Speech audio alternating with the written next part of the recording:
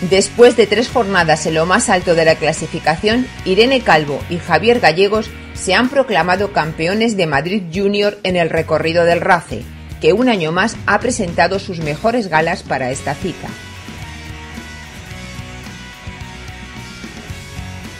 Gallegos ya apuntaba maneras desde la primera jornada en la que rubricó 67 golpes, la mejor tarjeta del torneo,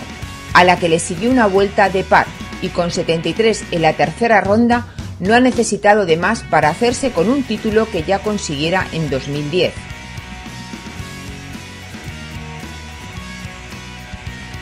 A tres golpes de Javier, con vueltas de 69, 73 y 73, terminó Jorge Simón, que no ha podido revalidar el título que lograra el año pasado.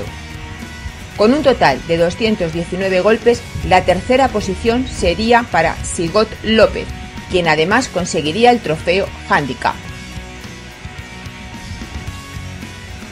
Irene Calvo, por su parte, ha conseguido aguantar los ataques de sus perseguidoras y se ha mantenido firme en su puesto de líder, hasta que finalmente pudo hacerse con el título tras sumar el par del campo al total de las tres jornadas, superando en seis golpes a Ana Dieguez,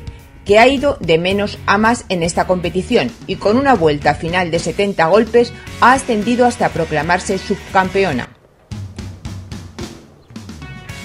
Marta Martín, que partía desde el liderato con Irene Calvo, no pudo mantener el ritmo y terminó sexta.